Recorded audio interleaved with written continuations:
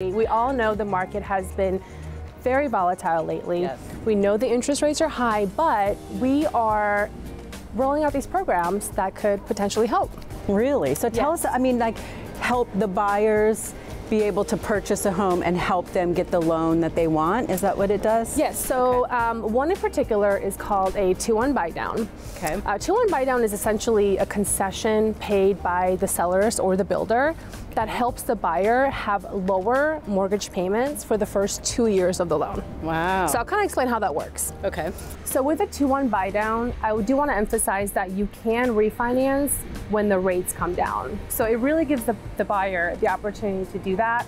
Um, and, and people ask like, well, what if the interest rates go way up? Well, at least you're locked in at the 6%, which is the prevailing interest rate. So it's really not that bad.